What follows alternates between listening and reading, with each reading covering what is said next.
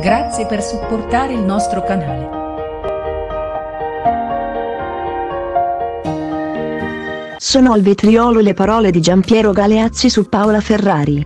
L'ex canottiere, che è da anni un noto telecronista sportivo, è stato intervistato dal Corriere dello Sport e tra le altre cose gli è stato domandato di commentare l'annuncio di Paola Ferrari che pochi giorni fa ha spiegato di aver deciso di lasciare la RAI dopo che avrà seguito i mondiali del 2022 in Qatar. Il 75enne ha affermato che la collega è troppo invadente nelle trasmissioni tv e sebbene ultimamente fosse a suo dire migliorata. È convinto che non sentirà la sua mancanza. Non ne sentirò molto la mancanza. Ci ho lavorato parecchio insieme. Ultimamente era molto migliorata. È sempre stata troppo invadente monopolizza lo spazio, ha prevaricato il suo ruolo. Prima non si preparava, ora ha imparato a farlo, ha dichiarato al quotidiano sportivo.